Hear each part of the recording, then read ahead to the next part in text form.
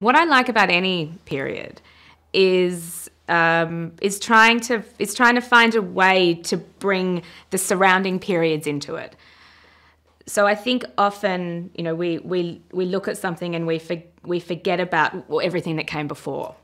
And I think there's a kind of there's a great wholeness that you can find in a world about pushing back a little bit and finding the kind of great authenticity of people who have owned things for 20 years and making it not just about sort of like current um, current trend or what we what we naturally attribute to a period.